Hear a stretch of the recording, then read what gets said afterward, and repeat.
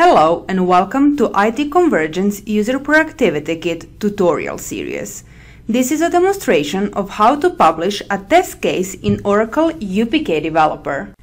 Among 15 different outputs that UPK can generate from one single source recording, the test case is the output that can be integrated into testing software applications, such as Oracle Application Testing Suite, HP Quality Center, or IBM Rational Quality Manager.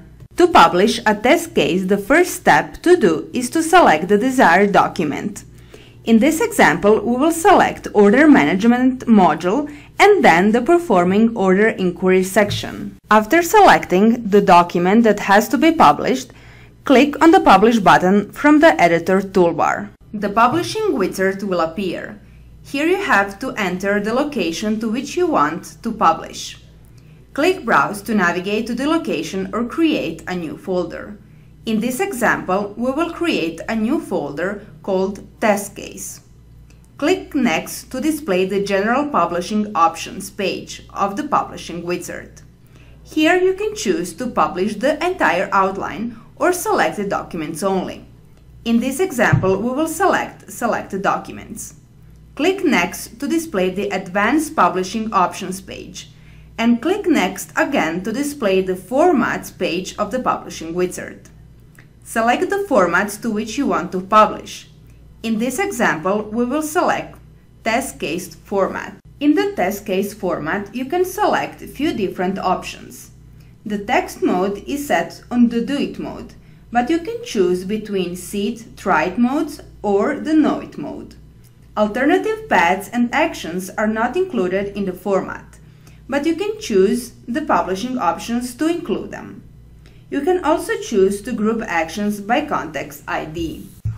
In this section, you can choose between four formats Oracle Application Testing Suite, HP Quality Center, IBM Rational Quality Manager, and other.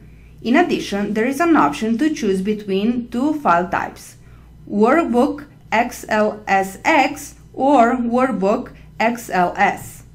After the desired test case publishing options are selected, click Publish. Please note that the publishing time depends on the amount of content that has to be published. When the publishing process finishes, the Publishing Complete page of the Publishing Wizard appears.